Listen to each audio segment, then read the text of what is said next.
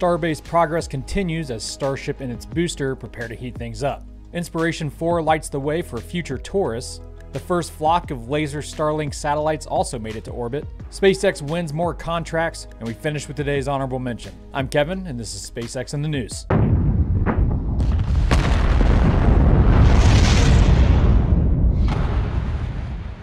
Despite the threat of hurricanes lately, Starship development in South Texas is up and running. Work continues on parts of the orbital launch tower, like the attachment structure for the rocket catching arms shown here. And SN20 received another one of its Raptor engines a couple days ago, and it's pretty much done receiving the rest of its heat shield tiles until it's placed on Super Heavy Booster 4. We're currently waiting for said booster to static fire its 29 Raptor engines. There are road closures in place throughout next week, possibly for just that. Keep an eye on LabPadre's channel if you want to watch it live. Okay.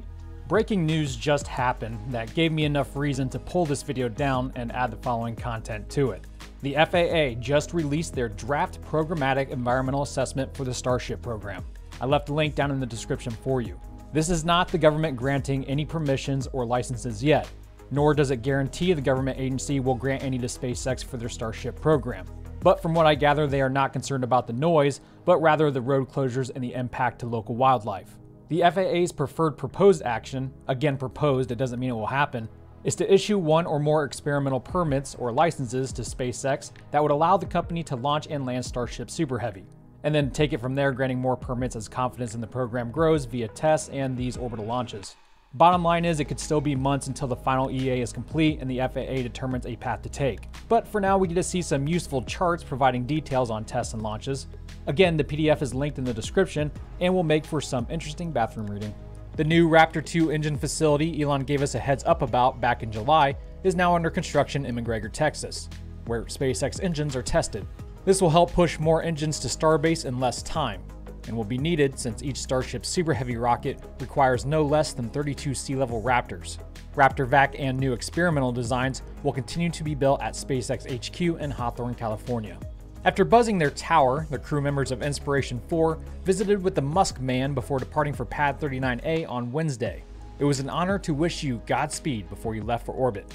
Missions like Inspiration 4 help advance spaceflight to enable ultimately anyone to go to orbit and beyond the crew waving to the crowd as they ingressed their Model X's and made their way to the changeout facility. Upon their arrival at the pad, they executed a group lean back to admire their mighty boom stick that's about to thrust them to space. It was particularly enjoyable to watch Hayley's expressions as she embraced the life changing experiences. At 29, she is the youngest American to ever go to space, despite never being all that interested in the industry. But obviously, she's all about it now pretty wild how the chapters in your life can end and begin so abruptly. One minute you're working at St. Jude, a phone call later, you're making history. If there's a lesson to be learned here, it's that no matter how hard life gets, the sun will rise in the morning, and everything can change in an instant if you just keep breathing. Who knows what your journey has in store for you?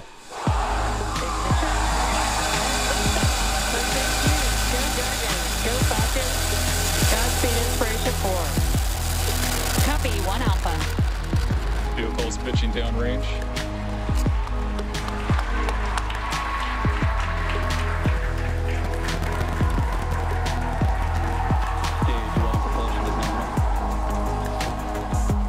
At first stage engine cutoff, the second stage separated and ignited its single Merlin vacuum engine to push the crew the rest of the way to orbit. Meanwhile, their booster made a successful landing on the drone ship Just Read the Instructions, stationed on the Atlantic for a third time and then the reused Crew 1 capsule, Resilience, with its trunk, jettisoned away from the expendable second stage and drifted off into the darkness.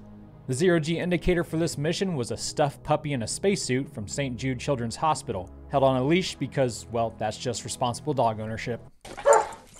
cinnamon.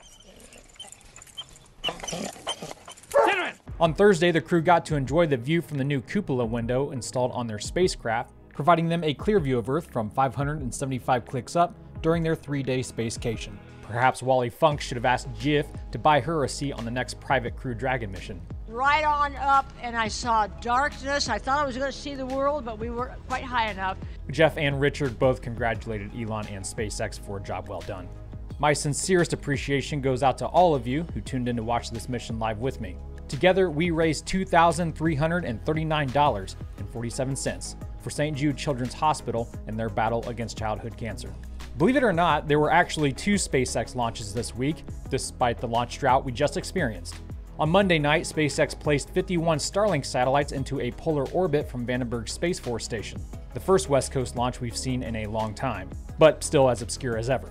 These satellites are equipped with the new laser link technology that allows them to transmit information amongst themselves before sending signals to a ground station.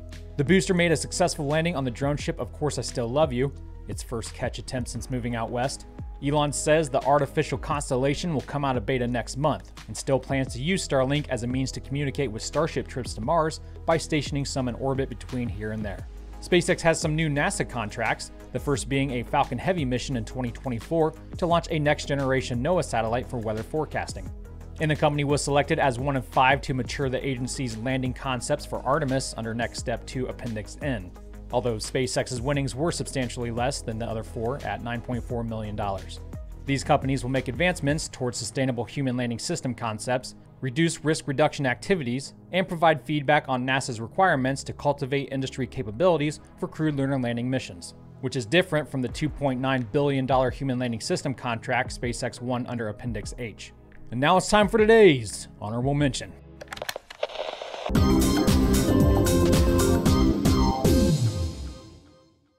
On Monday and Wednesday last week, NASA's newest rover on Mars, Perseverance, drilled and collected its first two rock samples on the red planet. This comes after a failed attempt to keep a core sample that was unexpectedly fragile. Fragile. Fragile. However, the agency was able to seal the cores of their follow up attempts in titanium cache tubes, which may be recovered and returned to Earth during a later mission. Well, that's all I have for you guys today. Thank you so much for watching. And of course, my thanks goes out to my members and patrons supporting the channel. Have a nominal weekend, and until next time, Godspeed.